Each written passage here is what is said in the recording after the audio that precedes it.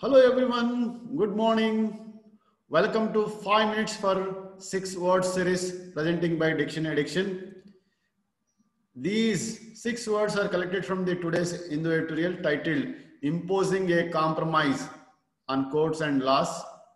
The first bullet is contestation. C-O-N-T-E-S-T-A-T-I-O-N. Contestation means dispute or arguing. Supreme Court interim order in the ongoing contestation between large section of the farmers and center over the new farm laws may be motivated by the laudable intention to break the deadlock in negotiation. This is what is example. Assuage means satisfy or mitigate. A-S-S-U-A-G-E. Assuage.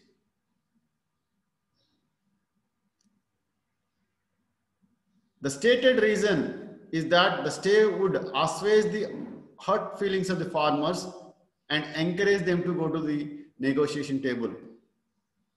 Third bullet, infirmities means weakness or sickness or anomalies. I-N-F-I-R-M-I-T-I-E-S, infirmities.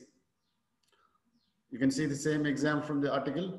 However, it is somewhat disconcerting that the stay of the legislation is effected solely as an instrument to facilitate the court's arrangement rather than the basis of identified legal or constitutional infirmities in the laws.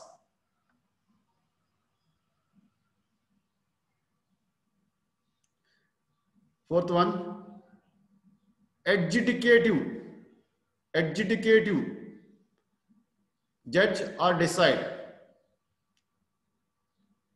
The court approaches approach raises the question whether it should traverse beyond its adjudicative role and pass judicial orders of significant import on the basis of sanguine hope and mediational zeal. Next bullet, sanguine. S-A-N-G-U-U-I-N-E. Sanguine means positive or hopeful. Same example. The court approaches, approach raises the question whether it should traverse beyond its educative, educative role and pass judicial orders of significant import on the basis of sanguine hope and mediation zeal. Fifth one, amply, amply, A-M-P-L-Y, full or sufficiently. Example, the court did make its position amply clear during the hearing. The Chief Justice of India, S.A. Bobde, faulting the center for its failure to break the deadlock arising out of the weeks-long protest by thousands of farmers in the vicinity of Delhi, demanding nothing short of outright repeal of the laws. Perceived, supposed or seeming.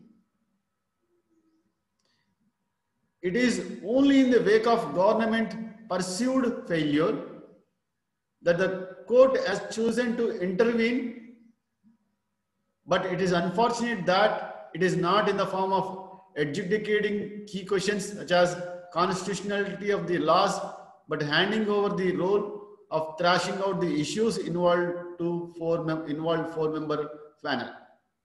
So this is all about, uh, I guess I've uh, taken seven words instead of six, I promised. But you know, I thought that would be interesting to learn in addition to the six one. So thank you all for your uh, initiation to take new words on every day. And if at all you like it, just press button and uh, for regular updates, you subscribe. Thank you. And see you again tomorrow with one more video on Hindu editorial.